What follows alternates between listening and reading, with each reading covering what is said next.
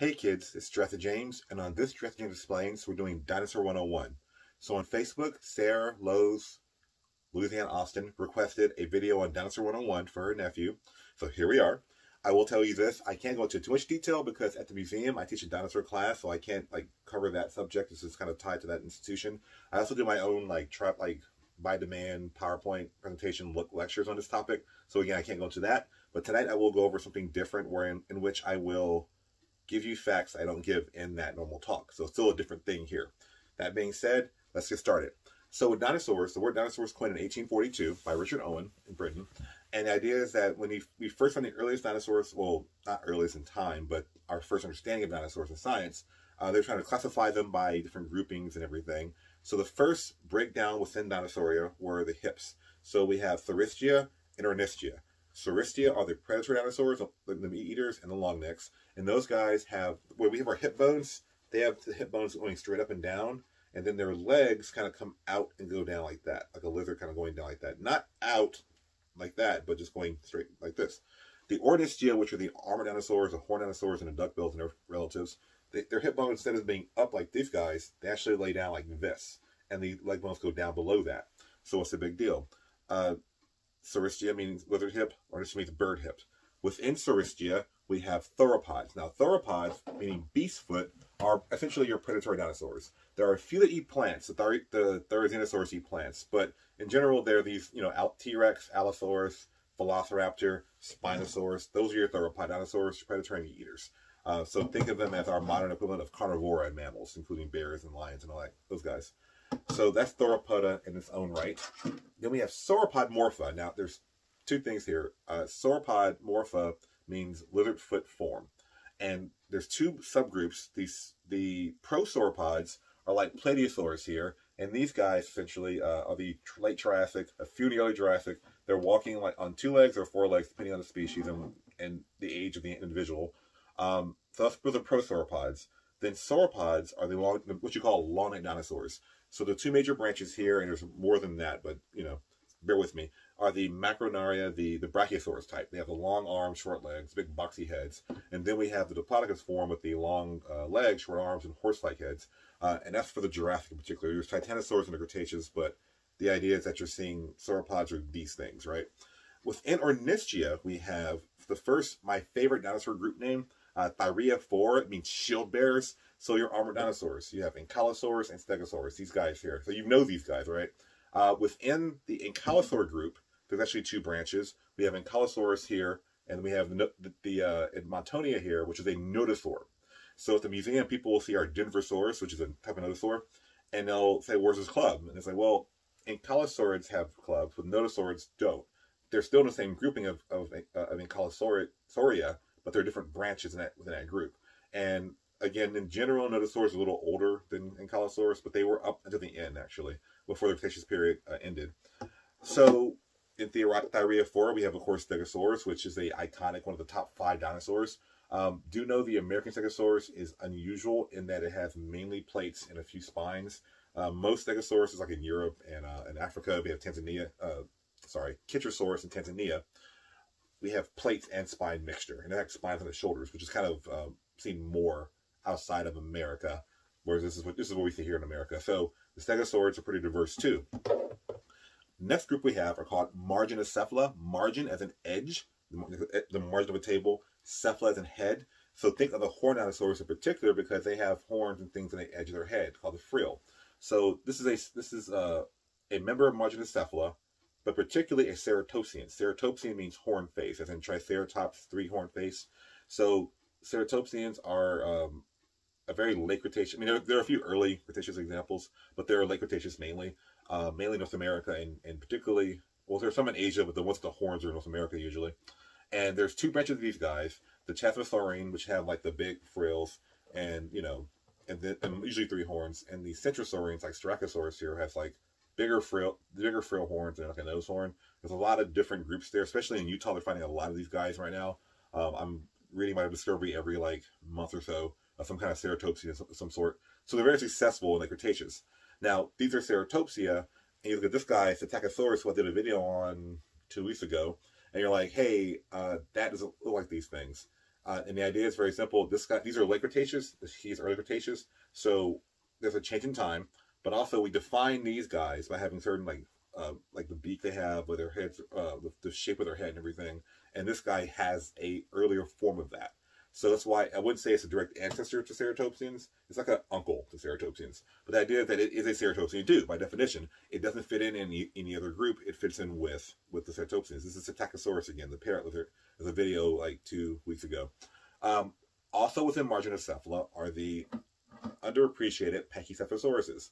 So these guys, uh, which names mean thick-headed lizard, literally, uh, they are classified within Marginocephala. You say, well, how? They're like on two legs. And that's not that's not that's not a um, qualifier because you know he's on two legs. Well, for a third part of his life. So the idea here is that there are horns on the back of the head. And again, when you look at all dinosaur groups, you're like, well, where does it fall in? It falls in closest to ceratopsians, but it's not a ceratopsian, so that's where the name Marginocephala comes. It, it incorporates these two groups. So that's how that works. I know a lot of words, big words. I'm sorry, kids, but that's the name of the game.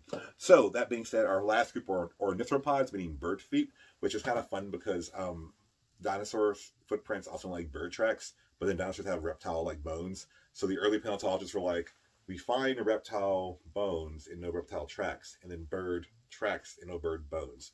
And it turns out it was a reptile tracks making the bird, sorry, reptile bones with the bird tracks, you know. Anyway, so ornithopod includes two major groups, uh, and the first are the iguanodonts. And the iguanodonts are the, I mean, they look like they're the, um, you know, the generic two-legged, two-legged. Ornithopods can walk on four legs and or four limbs, and then they run on two on average. But the iguanodonts have what I call this like the iguanodon hand. So if you ever see me do a social event or any kind of event, I do this wave like this. This is the iguanodon wave because they walk on three of the fingers like this. They have a pinky for grabbing leaves and a thumb spike for giving like thumbs up. Now for, for probably fighting off predators, we don't know, but they have a thumb spike. That's why they're you know iguanodonts are, are, are really cool. One of my favorite dinosaur groups. But uh, the hadrosaurs or duck-billed dinosaurs are commonly known. Uh, they have they've lost the uh, the thumb spike, so they just have like four digits. So they walk on three. And in fact, these three with are encased in like skin, like kind of like a mitten.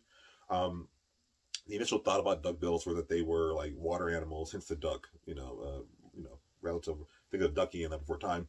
Um, and they and they, they would find all this extra skin here. So the assumption was it was like webbing the toes so they can swim.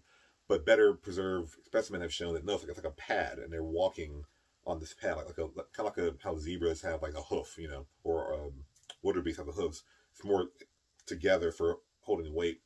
Uh, so that includes the, uh, I use two examples here, the Parasaurolophus. Uh, this guy, there's two kinds of, of, of uh, duckbill dinosaurs. And again, they don't actually, Dr. Bakker hates saying the word duckbill because they don't all have duck bills. Only Edmontosaurus really does. But anyway, the name kind of stuck in the, in the zeitgeist. But there's the ones with a crest and ones without crest. So there's two different branches there. And again, these are ornithopods. And as far as the lifestyle goes, they live in huge herds, uh, usually migrating uh, in different areas. You know, there's a lot of interspecies interactions here. So in general, we have our dinosaurs 101, which are theropods, sauropods, thyreophore, marginocephala, and ornithopod. And then, of course, you go higher up, you have Ornithischia and Saurischia, and higher up, you have Dinosauria. So what's the big deal? Uh, people often will assume or believe that the Mosasaurus is a dinosaur. It's a marine reptile. In fact, Mosasaurus, Ichthyosaurus, and Plesiosaurus are not dinosaurs. Dinosaurs could swim. We, we know we have tracks of dinosaurs swimming, but we don't think dinosaurs live in the ocean. You're like, well, Spinosaurus is aquatic. Exactly, he's aquatic. that means he goes in and out of the water, usually fresher water. Marine reptile means you have flippers. You have given up the land, so you're, you're out there. And in fact, these guys, the Ichthyosaur and Plesiosaur in one group. Mosasaurs are closely related to snakes and lizards, actually. Squamata, that, that order. Um, another group of animals that are often considered dinosaurs, which are, that are not, are the other, other Archosaurs. So people say, oh, crocodiles are living dinosaurs. No, they're not. Crocodiles are not living dinosaurs. They are dinosaur cousins. They're distant cousins of dinosaurs. Um, so, I mean, technically birds are living dinosaurs more than crocodiles are. So the idea is that their arms go out to the side anyway, so they're not dinosaurs, but they are. This one, Deinosuchus, is a, contemporary from here in Texas, so appreciate him. The pterosaurs, the flying reptiles who've seen here walking and here flying or gliding, um, these guys essentially are not dinosaurs either. They are um, flying reptiles. We have marine reptiles and flying reptiles. They are dinosaur contemporaries, meaning they live with dinosaurs. They are close cousins, uh, closer than crocodiles actually, but they are not still dinosaurs, so they're a different branch altogether. And of course, the last thing I want to point out in this Dinosaur 101 talk, because I'm trying to get my videos at a certain timing, because uh, I can talk forever, but instead of talking forever, I just make more videos. Uh, we have Dimetrodon here. And Dimetrodon is not a dinosaur. I did my first video was on Dimetrodon. Do not call it a dinosaur. If anyone tells you Dimetrodon's a dinosaur, they are science heretic. You burn at the stake. It's not a dinosaur. Why are you so passionate, James? Because I dig at the Whiteside Museum. We dig up Dimetrodons. Duh. Now, other animals people associate with dinosaurs are the uh, saber-toothed cat, the woolly mammoth, and the mastodon, which are different kinds of elephant things. Well, these guys are all mammals. They live way beyond or way past dinosaur time. And in fact, the fun fact, has more in common with the mammals, uh, although it's not a mammal, but has more in common with mammals than it does with the dinosaurs, uh, as far as as far as uh, evolutionary anatomy and connections in, in, the fossil record. But anyway, so that's Dinosaur 101. Uh, there's a lot more there, and if you want me to go over individual groups more, um, certain definitions, or just continue doing each species, like comment below, let me know. Uh, if you like these kind of videos, like share them and subscribe because by subscribing them, tell pe people like this, and I won't be as sad. And then also uh, like because, or dislike. I need to know like, do you not like me talking about the families? Am I talking too fast? Or am I should I go over more detailed things? I don't know because I just have a lot of information in my head and I want to share it. That being said, thank you guys very much. Be sure to like and subscribe, and I'll see you guys later. Bye.